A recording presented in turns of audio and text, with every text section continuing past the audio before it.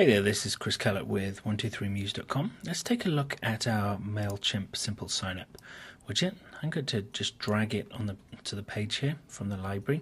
You can see that we have quite a few options uh, in this that allows us to get this styled up the way we want it to. Now the first thing is to grab the MailChimp code. Now let's go and get that.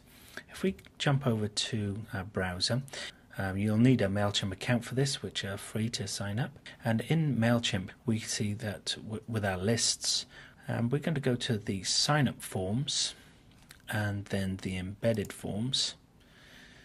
And you can see here that we have this option for the naked form. So it's a form without any styling. And we're going to switch everything off.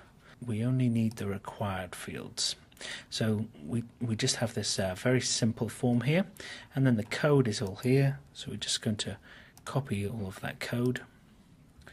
And going back to Muse here, and then you don't want to just use the code that's already in there because that will sign people up to our newsletters, which um, would be very nice, thank you very much. But I'm sure you want to use your own code. So you just paste the code in there, and that updates the widget um, to be using your list. But then we have all of these options for styling up. We have some control in Muse itself. So the text, we can change the font using the by selecting the widget and using our text tool in Muse itself. So I can change the, the font here and we can, uh, if it just jumps under like that, we can just resize it. I don't really want to use that font. Um, so let's go back to Open Sans. So we can change some of the look and feel with Muse itself, so the text, and you can see here that we have our background color, which we could set to transparent. So we do have some control there, but a lot of the control actually happens in the widget itself. So with our box padding, this relates to the padding around the unit itself. So we can change that to give us more space around the, the form itself.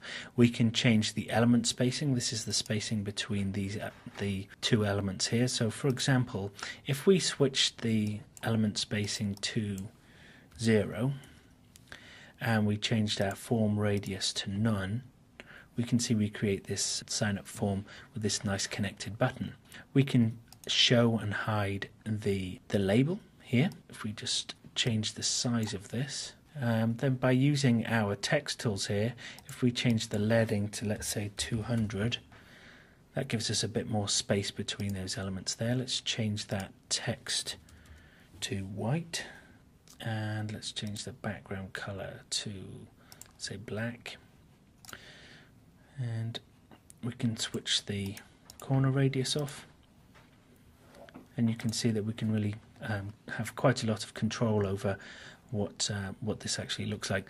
Then we have a section for the input box that controls everything to do with this. We have border color, hover states, and then we have the button itself as well. We can change that. We can change the text in that box.